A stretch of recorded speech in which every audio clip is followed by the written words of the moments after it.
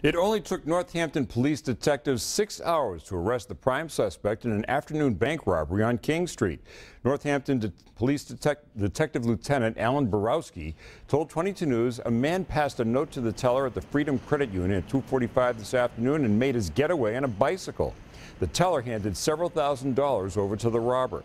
The state police helicopter and dog team were unable to locate the suspect, but detectives were able to track him down and arrest 53-year-old Michael Lucy in a West Springfield motel tonight.